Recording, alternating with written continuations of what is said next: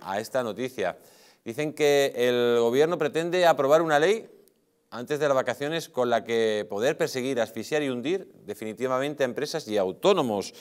Dice, según se ha podido saber en medios judiciales, la nueva ley concursal estará aprobada antes del 30 de junio de 2022, ya que antes de que el Congreso de Diputados se vaya de vacaciones, están previstas varias sesiones en las que se discutirá la incorporación de las 607 eh, enmiendas realizadas por los grupos parlamentarios al proyecto de ley de reforma de la ley concursal.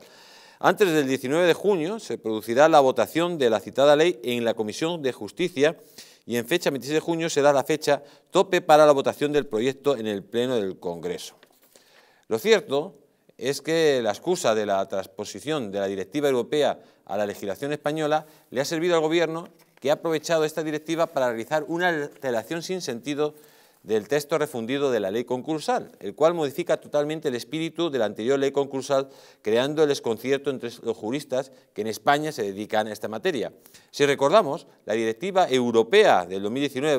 barra 1023 intentaba que los Estados miembros de la Unión Europea modificaran sus legislaciones concursales nacionales con el objetivo de buscar la eficiencia de los procedimientos de reestructuración, de insolvencia y de exoneración de deudas. Pero Sánchez ha ido mucho más allá introduciendo unos cambios que limitan las posibilidades de acceder a la exoneración de deudas, suprimiendo prácticamente ese derecho que tenía el concursado en el texto refundido de la ley concursal. El ataque injustificado del proyecto de ley a los administradores concursales carece de lógica y va contra la Directiva Europea 2019-1023, llegando a suprimirlos en una gran parte de los procedimientos, cuando no los posterga. Con este anteproyecto de ley, los procedimientos concursales van a desbordar los atascados juzgados de lo mercantil, colapsando esta importante rama de la justicia, posiblemente de modo irreparable. De la lectura del proyecto de ley, parece que los culpables de la paralización de la justicia mercantil son los administradores concursales,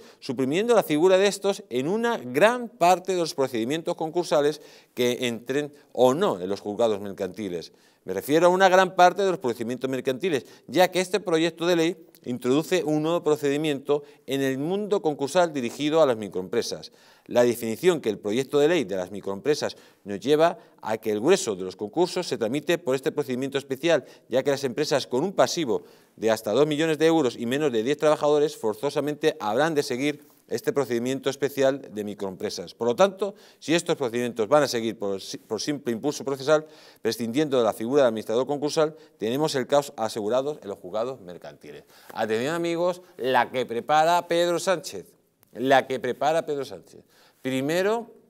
eh, ya tenemos a don, a don Javier, primero colapsar los juzgados con los procedimientos concursales que prácticamente desaparece la, figura del administrador concursal y sobre todo pues al pequeño y medio empresario, ponerle en una situación todavía más crítica. Don Javier Villacorta ya por fin le hemos recuperado. Estamos hablando de esa reforma de la ley concursal que ustedes han publicado y que pone en un brete sobre todo a los pequeños eh, empresarios y a los autónomos, ¿no? Sí, parece, está muy claro que Sánchez no quiere, o el gobierno de Sánchez no quiere saber nada ni de pequeños empresarios ni de autónomos. Recordemos que, entre otras cosas, Escriba plantea unas subidas de las cotizaciones en la, en la seguridad social que muchos, eh, muchos autónomos no van a poder asumir. Se, ha estado manteniendo, se han estado manteniendo muchas empresas eh, a lo largo de estos dos años de una forma un poco artificial, a, través de crédito psico, etcétera, etcétera, y ahora nos encontramos con que el corte va a ser radical y que tal y como me comentaba ayer eh, el abogado Eduardo Rodríguez de Burjón, autor de este artículo, a, lo mejor esto se, se estira todavía un poco más hasta llegar a las elecciones, porque lo que sí adelanta Eduardo en ese artículo es que si esta ley se lleva a cabo, el crack empresarial va a ser muy grande, el crack en los juzgados también, y bueno, elimina, y no solo eso, sino elimina una ley que a mucha gente le ha venido muy bien a lo largo de estos años, la, una, la de la segunda oportunidad. Y parece que, parece que si te encuentras con algo de esto, pues te vas a encontrar con una losa en el, de la que en España va a ser una losa económica de la que en España va a ser muy difícil salir.